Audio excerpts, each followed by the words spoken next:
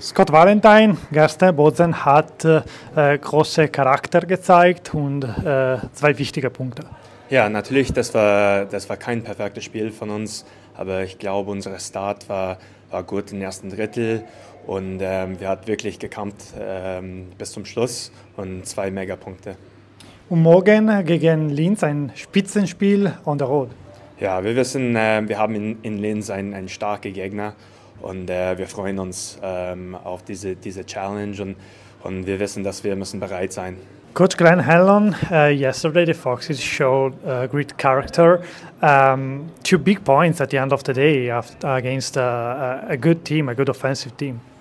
Yeah, it was a, a, a real good comeback. It was um, a game, I think the real winners, I said earlier, were the fans. There was lots of goals scored, uh, lots of specialty team play, and uh, but for our team, it was, uh, you know, to prove to each other that we lost a lead. A couple of times we lost a lead, and then we still fought to get the points.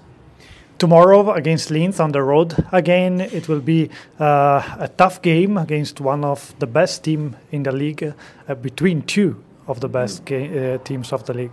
Right. I, I, I, you know, the players here in our room certainly respect where Linz is as a team this year. It's not the team from last year where they were at the bottom of the table, and I think the fans uh, had seen that when they came here. We had a hard-fought two to one win.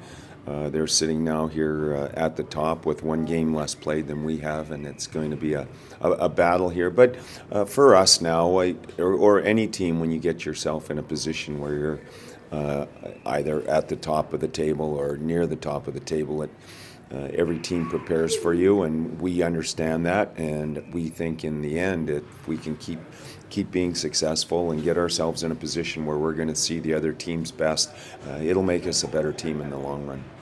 The Foxes have confidence right now. Um, how do you see uh, this uh, like uh, growth process? Well, I think the biggest thing is is I I see it in our practices when we had won some games earlier.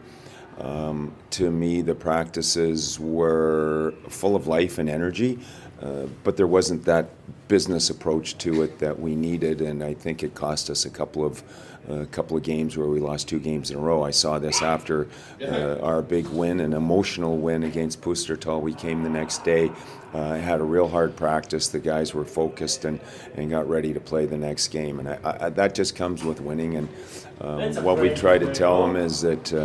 You know, winning should bring confidence, not complacency, where complacency is just getting getting happy with yourself. So uh, that's where we are right now as a team.